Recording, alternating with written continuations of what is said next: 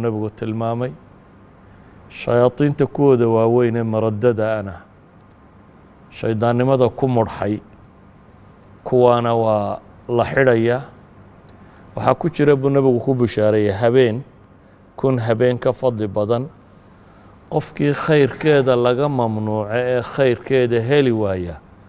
Kaasi waa khayrlaa wuu nebigu ku tilmaamaya faqad xurim. Yacni waa mid khayrka laga mamnuucay sida awgeed nebigu calayhi salaatu wasalaam wuxuu ugu bishaaraynayaa qiimaha ay ku leedahay dadka muslimiintaa agtooda iyo sida la rabay in loo weyneeyo? Waxa kugu filan nebigu calayhi salaatu wasalaam weyneynteeda waxa uu ku tilmaamay oo runtii keensanaya in qofka muslimka isku dayo inuu bishatan uu u diyaar garoobo xadiidka nebiga calayhi salaatu wasalaam ka sugan ee sunanu ibnu maaja ku yaalla sheekh alalbanina uu saxiixinaya ama xasan ku tilmaamayo طalxa ibnu cubaydillaah saxaabigii la odhan jiray ayaa wuxuu leeyahy laba nin baa nebiga u yimi calayhi salaatu wasalaam oo mar soo wada islaamay oo islaamnimadoodu mar qura wada ahayd. طalxa ayay la joogeen waxaa mide aad buu u dadaali jiray laakiin labadaba waa dadaalayeen laakiin nin baa dadaalkiisu aada u muuqday. Markii dambena jihaad buu istishaad ku qaato shahiid buu noqday. Kii kale wuu ka nolol dembeeyey oo sanad buu sii noolaa. Kadib buu sanad dabadeed kii kale dhintay. Riyo ayuu ku riyooday markaa طalxa ibnu cubaydillaah riyada wuxuu ku riyooday iyadoo jannadii looga yeedhayo dabeetana albaabkii jannada inta la fura kow waxaa loo yeedhay kii dambeed dhintay labada. Kii shahiidkee hor dhintay mooyaane kii dambeeyey ayaa loo hor yeedhay. Markaasaa haddana loo yeedhay buu yidhi kii shahiidka noqday. Kadib baa aniga laygu yidhi buu yidhi adiga weli wakhtigaagii may gaadhin. Warkiibaa saxaabada gaadhay waa la isla dhex maray.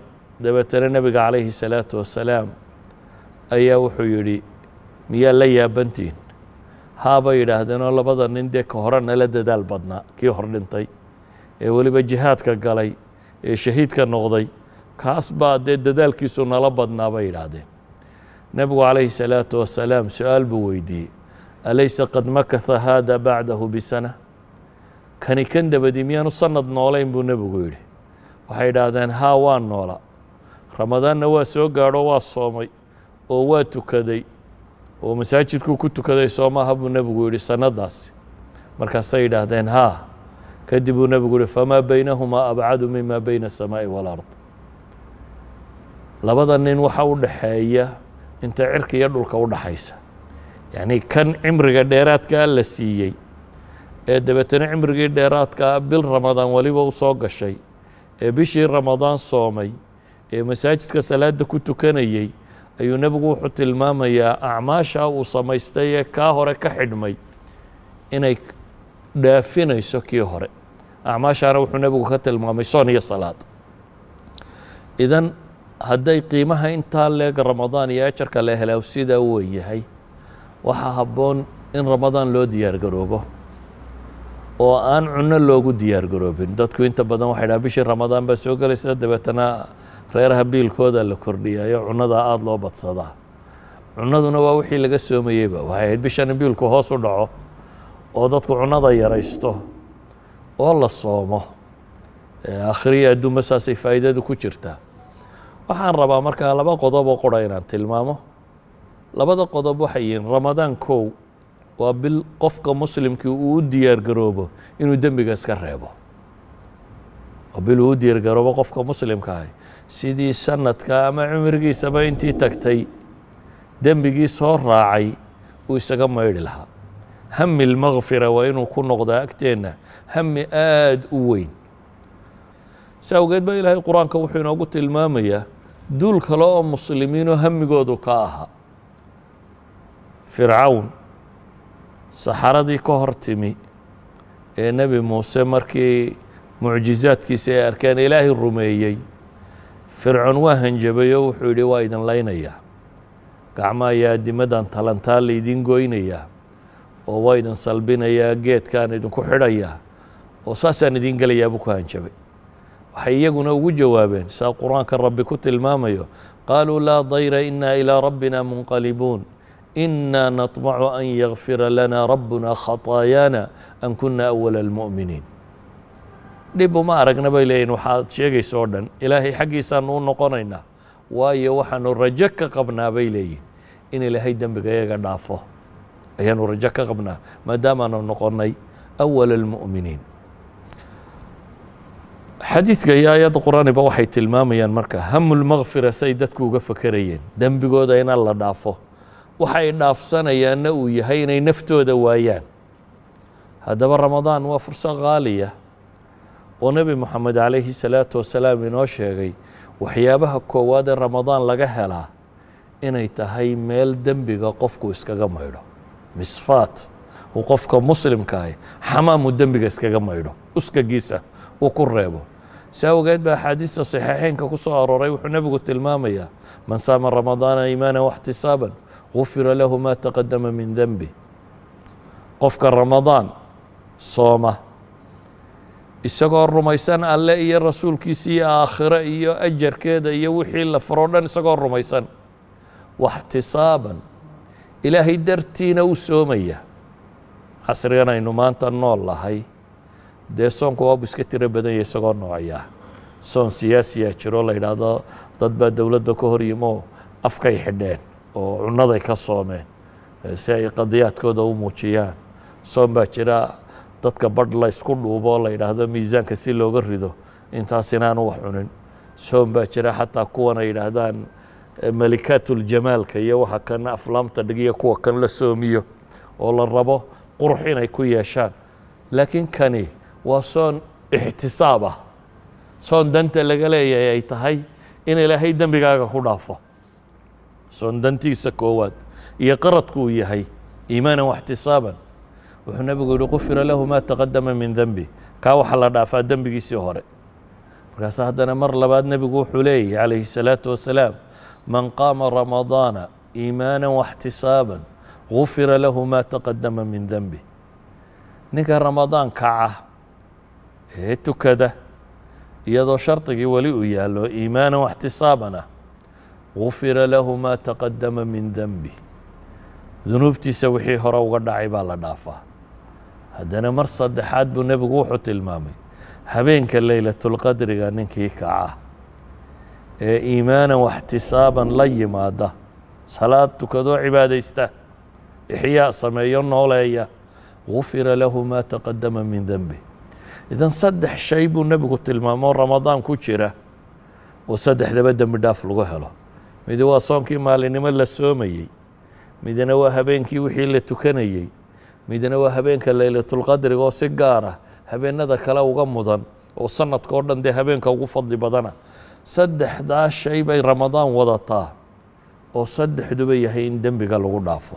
Si awgeed buu nebigu calayhi salaatu wasalaam axaadiistiisa wuxuu ku tilmaamayaa qofkan qowlu zuur iyo walcamalu bihi iyo waxaa iska tegeen ilaahay cuno inuu ka tagiyo sharaab dankama laha. Macnuu waxa weeyaan qardiga koowaad ama qasdiga koowaad ramadaan aynu u qasdiyeyno waxyaabaha ugu buuran waxaa ka mid ah inaynu u xaydxaydino sidii ilaahay dembigeenna u dhaafi lahaa. Dee qofka raba in dembigiisa la dhaafaana dee waa inuu ka dembe joojiyaa kana hadda ramadaan baan wax walaaqaya haddana kii hore in layga dhaafaa baan rabaa. Dee waa mushkilad haddaad rabto cutuur iyo inaad wax isku buufiso adoo uskagaaga iyo qurunkaagale laysma buufiye marka dhididkiiyo waxa hore iska maydhaabaa laysbuufbuufiyaa waxaan uga dan leeyahay inay noqoto bil aynu toobad keenayno oo dabeetana dembi dhaaf ilaahay subxaanahu watacaala weydiisanayno oo iimaanan waxtisaabanka la sheegay uu dhab inaga yahay. Si awgeed buu nebigu calayhi salaatu wasalaam maalin buu mimbarka koray. Dabeetana markuu jaranjaro fuulaba aamiin buu yidhaahdaa wuu sii socdaa aamiin buu yidhaahdaa. Wuu sii socdaa aamiin buu yidhaahdaa. Markaasay saxaabadii weydiiyeen nebiga calayhi salaatu wasalaam ilaahay rasuulkiisa yow aamiin baad leedahay. Caadadaadana may ahaan jirin memberka markaad fuusho inaad aamiin tidhaahdaaye.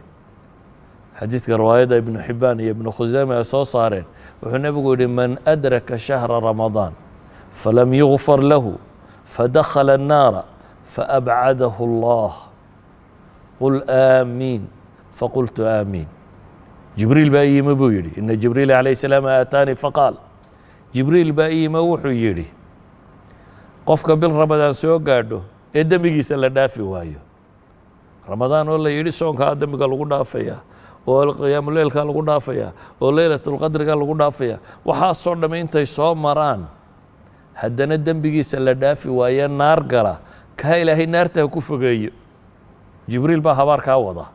Nebi maxamedna aamiin buu ka dabalayay. Waxaad qiyaastaa sayid ulmalaa'ika oo ducaynaya iyo sayid ulkhalqi oo aamiin ka daba leh.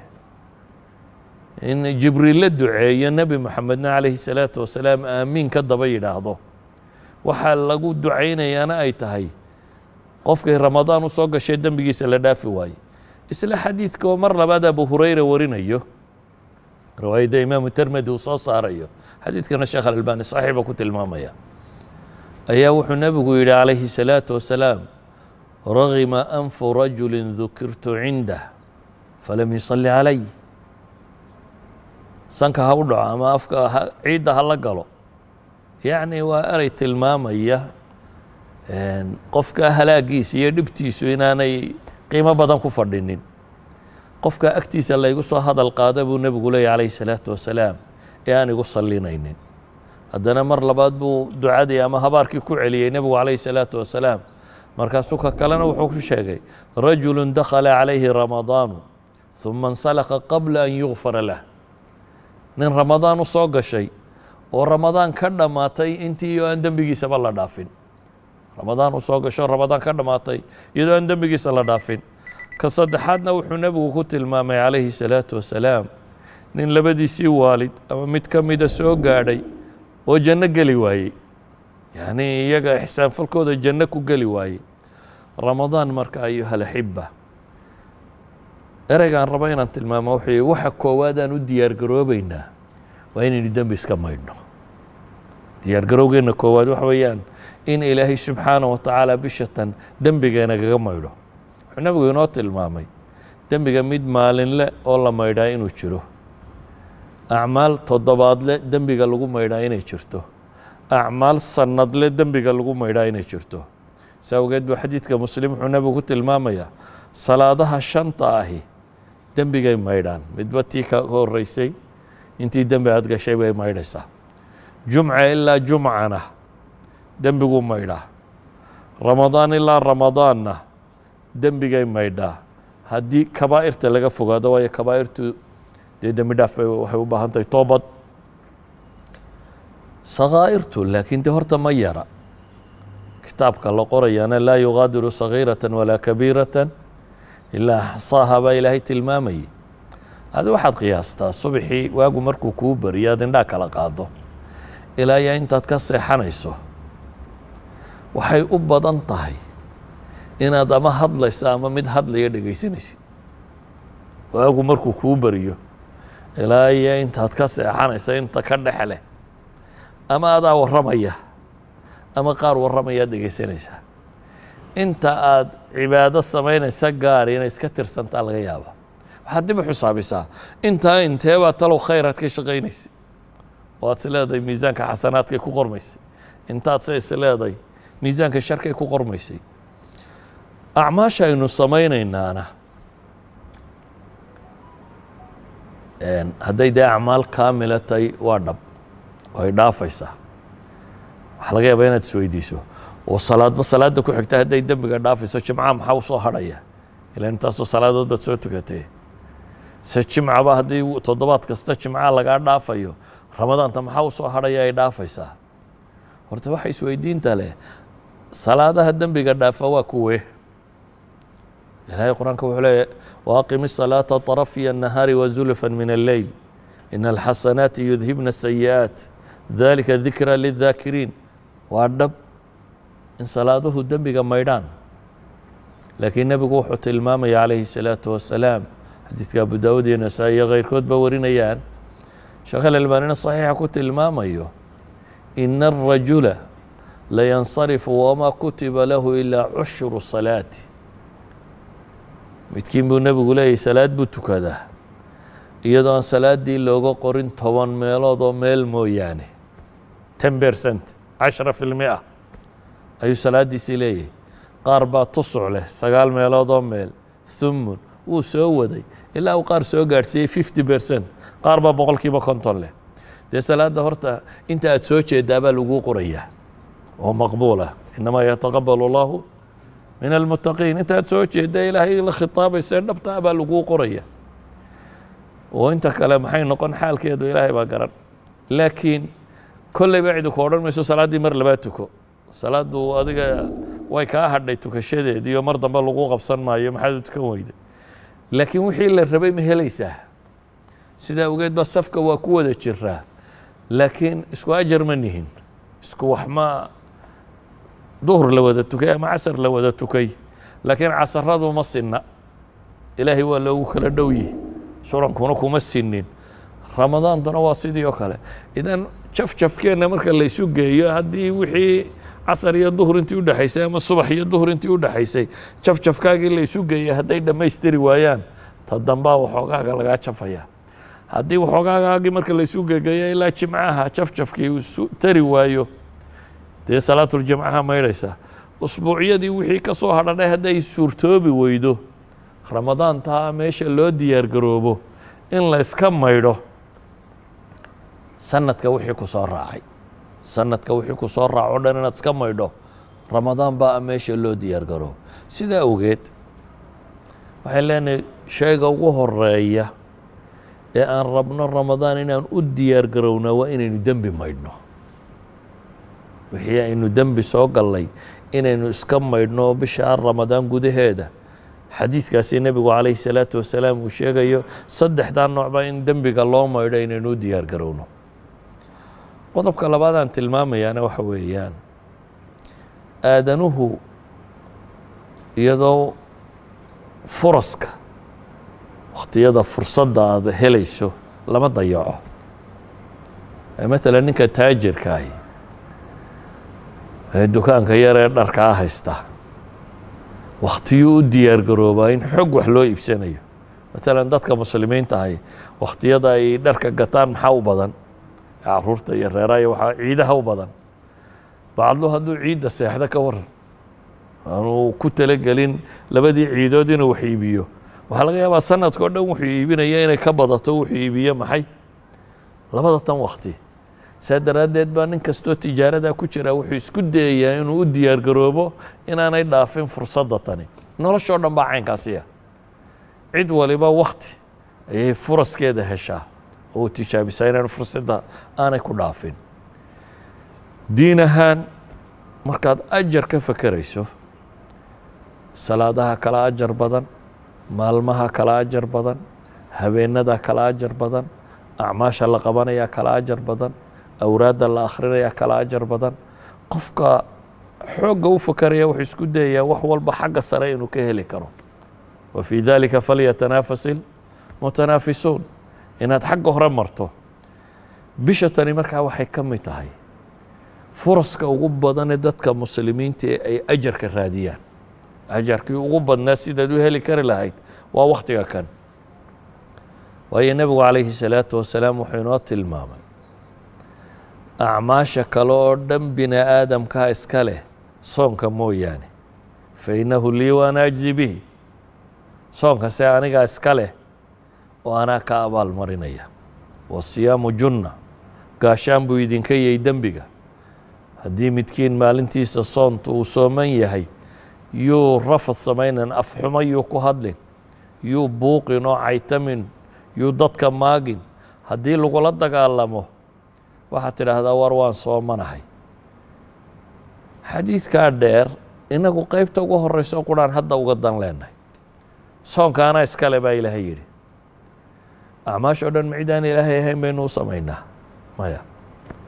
Camal kastoo aynu isku dayno aynu la nimaadno dee ikhlaas ixtisaab baynu ula nimaadnaa ilaahay subxaana wa tacaala. Waxay culimmadu isweydiiyaan maxaa soonta rabbi xaggiisa gaar loogu yeelay waxay culammadu yidhaahdaan iyagoo deliishanaya xadiidka imaamu nasaa-i sanadka saxiixa uu ku soo saaray. Kulu xasanatin yacmaluha bnu aadam falahu cashru amhaaliha ila siyaam. Acmaasha qofka bini aadamkii sameeyo waxaa loogu jaangeeyaa jaangoynta ugu yara waa cashra fi lmia waa halkiiba toban laab. Halkiiba toban laab cashra fi maaha. Yani waa midhkaad samaysaba in lagu toban laabo toban laabku luqadan dambe ay ku hadlaan haddaynu ku sheegno dee waa thousand percent. Ilaahay subxaana wa tacaala waa kariim waa deeq badan yihi midhkii haddii midh lagugu siiyo dee waa hundred percent baad faa'iida boqol kiiba boqol baad heshay intaad samaysay in leeg. Laakiin marka la toban laabo waa aad buu u tiro badan yahay. Waxaa qur'aanku kaloo inoo sheegay kuwo intaa ka badan yahay oo sabca sanaabil aayaddii kay tilmaamaysay toddoba boqoloo jeer qaar loo laban laabayo waxaa kaloo la sheegay qaar looga badiyo.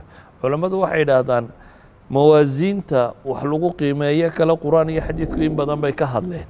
Laakiin mas'alatu soom hadday noqoto soontii alla rabay oo ah taa iimaanan waxtisaaban loola yimi taa aan buuq iyo qayladii iyo dagaalka iyo afxumadu la soconin taa cibaadaadka iyo ilaahay loogu dhowaanaya leh tii rabbiina amray ahayd haddii loola yimaado iyadu miisaankaas oo dhan way ka baxsantay macnaheedu waxa weeyaan ajarkeedu wuu ka badan yahay bay culammadu ku tilmaamayaan oo waxay leedahay ajar markaasi ka badan yudaacifu liman yashaa ah wallahu waasicun caliimka ah. Saa awgeed iyo axaadiid badan waxaa ku soo aroortay kulu camal ibnu aadam yudaacaf lahu اlxasana bcashri amhaaliha ilى sabcamiئata ضicf qaala allahu subxaanah ila sawma fainahu lii waana ajzi bihi waa xadiid saxiixinka ku yaala ama qur-aanka inama yuwafa الsaabiruuna ajrahum bigayri xisaab ay mufasiriintu ku tilmaamaan in lagaga waramayo waxaan uga dan leeyahay masaladan waa fursa fursad ah inaad ajarka ugu badan shaqaysan karto. Waa acmaashaan ajarkoodu mawaasiinta aynu naqaano aanay ku jirin ayay soontu ka mid tahay. Sida awgeed waxaa habboon inay bisha tani qofka muslimkii uu diyaargarow dhaba uu diyaargaroobo oo ah si aad maximumka u gaadho waxa fiican acmaasha dunawiga intaad iska yarayn karta inaad iska yarayso. Oo dee iyada bishan acmaasha la qabtee gaarkaa waxaa ka mid a wixii ictikaafka lo odhan jiray. Ictikaafkuna waa inaad dee masaajidkaba isku soo xidho aad acmaasha dunawiga oo dhan oo kale inaad iskaga timaado xataa iyadoo laga yaaba acmaasha lafteedu qaar ajar ku jiray inuu yahay wakhtiyada tan waxay idhaahdaan waxaa sii fadli badan inaad tan cibaadada maxdiga aada u sii baxdid. Erayadaan tilmaamaya markaa waxay ku kooban yihiin bisha tani in loo diyaargaroobaaba fiican laakiin maxaynu ugu diyaargaroobeynaa cunno iyo wax la mid ah mise waxaynu ugu diyaargaroobeynaa inaynu heli karno wixii dembi aynu xambaarsanaynna inaynu iska rogno iska reebno. Ajar inta la shaqaysan karaya intii ugu badnaydna inaynu shaqaysanno. Sawgeed baa nebigu calayhi salaatu wasalaam axaadiista iyo nusuusta badane ka soo aroortay waxay tilmaamayaan acmaasha la sameeyo inta badan ramadaantu xataa fii gayri ramadaan inay ka fadli badan yihiin qur'aan akhris ha noqoto sadaqa la samaynaya ha noqoto salaadaad iyo cibaadaad la samaynaya ha noqoto waxaan oo dhamma ujuurtoodu inay tiro badanayso marka bisha tani waa bil u baahan zaad qaadasho inaad u diyaargarowdo zaad qaadashadaasi waxay keensanaysaa acmaalu dunyaa dhammaanteed inaad yaraysato acmaalul aakhirana inuu noqdo hamiga weyna aada u socotaa haddii dadkaas qur'aanku uu ka warramay ama axaadiistu ay ka warramtay ay rabtay dembigooda in lagu dhaafo in qudhoo la iska jaro oo uu nafta u bixiyo oo uu leeyahay bidix iyo midig iyo saad doonayso noo googoo waxaanu damacnagaga jiraa ilaahay dembi dhaafkiise nebi maxamed wuxuu inoo sheegay bisha tani inay tahay bishii dembi dhaafka. Marka anigu kelmadayda caawa waxaan ku soo koobaya waa labadaa qodob qura. Waa war haddaad doonayso in ilaahay uskagii iyo dembigii. Waxa mashaakilina haystoo dhamina waa dembi waxa dhibina haystoo dhamina. Waa wax dembi ka yimi. Waa bimaa kasabat aydiikum dunuubta haddaynu rabno inaynu iska reebnana inaynu bishan u oo bishii dembiga la maydhi jiray. Haddaynu rabno acmaasheenna inaynu maximumka gaadhsiin karnana oo ah ajarka ugu badan inaynu heli karnana waa bishan bisha la shaqaysta ajarka ugu badaniye inaynu yana isku dayno halka ugu sarraysa inaynu gaadhi karno warkayga caawa. Intaas baan ku soo koobaya wsala allahuma calaa muxamadi wcala alih wsaxbi wasalam walxamdu lilaahi rabbi اlcaalamiin